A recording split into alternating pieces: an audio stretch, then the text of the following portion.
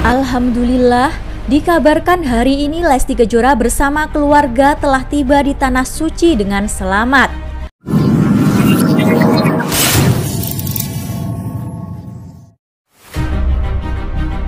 Meskipun kesehatan Lesti belum sepenuhnya membaik, Lesti Kejora mencoba menenangkan diri pergi beribadah umroh. Sebelumnya, Lesti Kejora telah mengidam-idamkan pergi beribadah umroh bersama dengan Rizky Bilar dan Baby L. Namun harapan Lesti pergi ke Tanah Suci bersama Rizky Bilar kini telah kandas akibat musibah KDRT yang menimpa Lesti. Di saat Lesti Kejora mempunyai masalah dengan Rizky Bilar, Lesti Kejora memilih untuk terbang ke rumah Allah dan mencoba mengadu pada Allah atas masalahnya dan memohon jalan yang terbaik. Ayah dari Lesti Kejora, Bapak Endang Mulyana, diketahui kini selalu ada dan setia menemani putri tercintanya. Ayah Kejora juga begitu terpukul dan tak terima atas apa yang menimpa Lesti Kejora saat ini.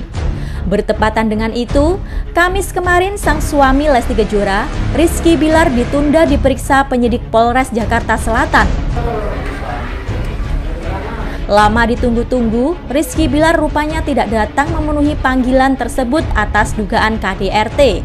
Namun, ADR Pil Manurung yang mewakili kliennya itu menyatakan Rizky Bilar tidak hadir untuk menjalankan berita acara pemeriksaan atau BAP.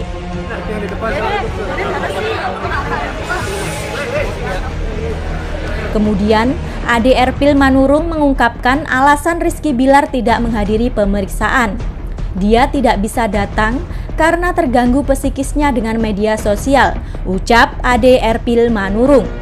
Pengacara Rizky Bilar juga membantah serangkaian kabar yang menyebut kliennya membanting Lesti Kejora berkali-kali dalam kasus dugaan kekerasan dalam rumah tangga yang membelit rumah tangga pasangan itu.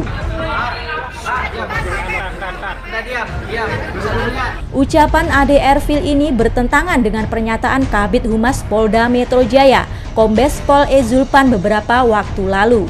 Kala itu, Zulpan menyebut Lesti Kejora mengalami serangkaian kekerasan oleh Rizky Bilar, mulai dari leher dicekik, dibanting ke kasur hingga di kamar mandi. Sementara itu, meski membantah kabar Lesti Kejora dibanting Rizky Bilar, ADR Filmanurung mengatakan pernyataan lebih lengkap akan diungkap saat Rizky Bilar dan Lesti Kejora menjalani pemeriksaan. Pemeriksaan Rizky Bilar sendiri ditunda hingga pekan depan.